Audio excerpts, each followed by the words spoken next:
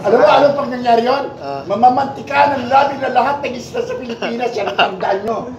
And at last Ah. count, it's already 7,601 Okay lang. islands and more coming.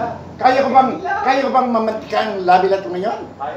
Hindi, ba't ko lang bibili kasi buong bak ang gatas lang gusto ko, leche.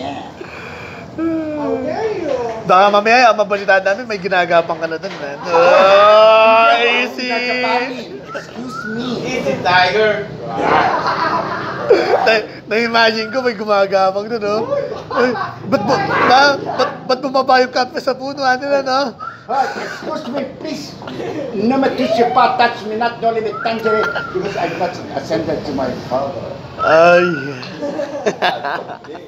I shall remain blessedly single for the rest of my life. Blessedly single, ah.